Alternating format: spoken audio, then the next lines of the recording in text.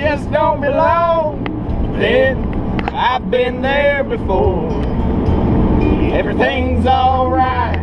I'll just say goodnight and I'll show myself to the door. I didn't mean to cause a big scene. Just give me an hour and then